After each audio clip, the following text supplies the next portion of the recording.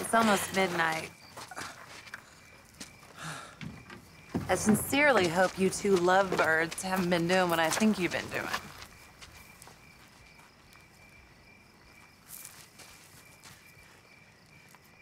I know what you think, but I know that your daughter has taught me many things just now.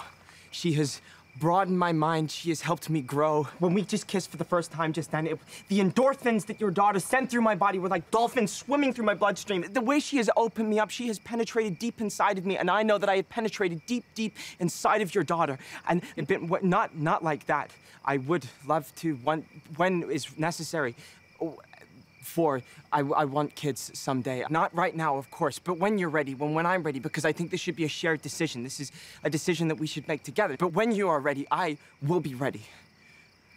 I am ready for you, if you will have me. Claire.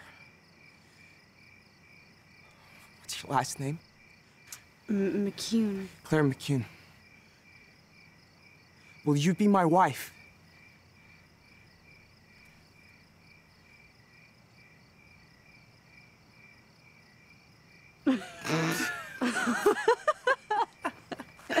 okay, funny man. I'm sure your dad's waiting up.